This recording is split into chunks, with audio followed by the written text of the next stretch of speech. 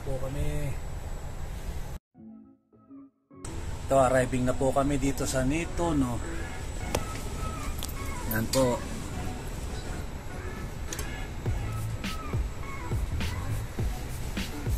Yan. Ito, ang po pasahero. Mga social distancing po tayo.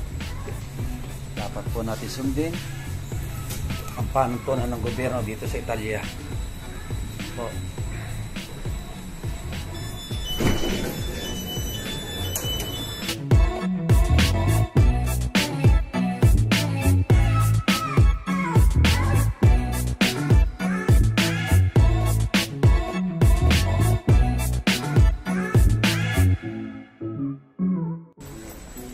Dulo po niyan dagat.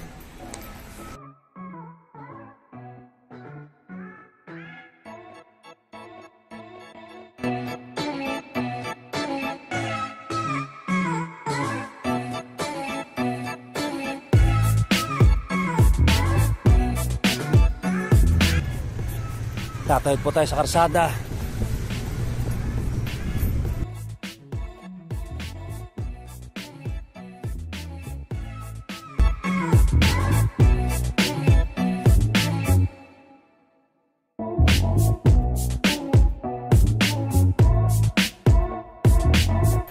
Ganito po dito, ang hirap ang lalayo po ng pag-apply ng trabaho.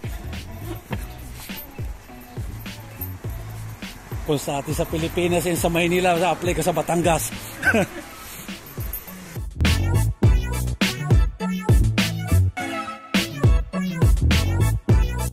Lapit na po tayo sa dagat, sa pantalan ng nito, no? Dito po.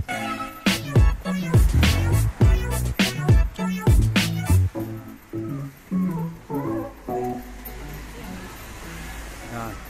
Yan po ang mga yate. Naparami yate. O, diyan po ako mag-a-apply ng trabaho.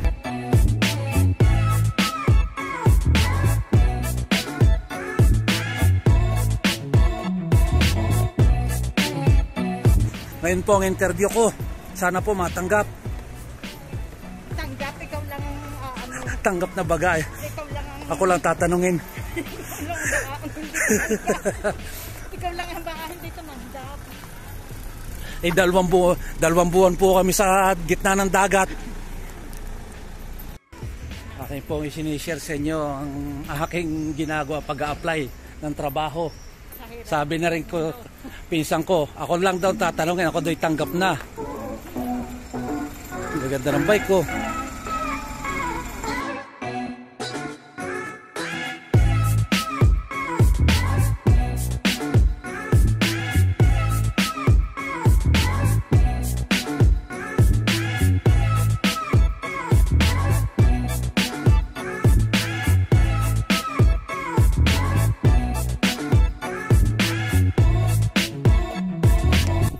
Yan po. Pare pinsan ko mayaman.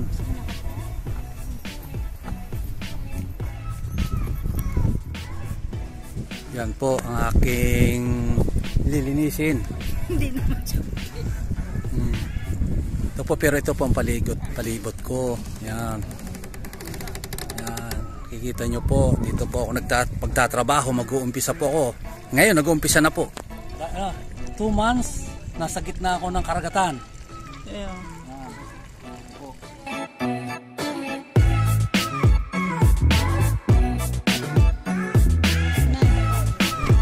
Kita niyo po. Yan po ang aking tiyahin na mayaman. Yan po ang may-ari.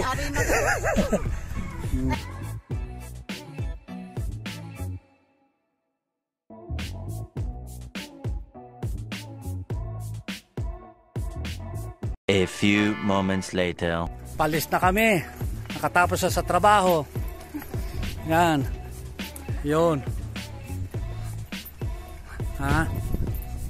Yan. Palis na kami. Bye-bye. Bye-bye. Hmm. Palis na kami.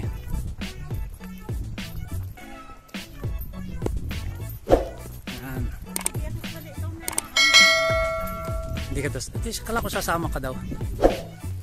Yan. Palis na kami. Kalahating araw.